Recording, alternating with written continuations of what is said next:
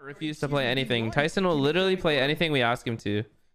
I don't understand why people think they understand how a fucking team works. They say he's a one trick this, you need to learn this, bro. Tyson literally will play anything we ask him to.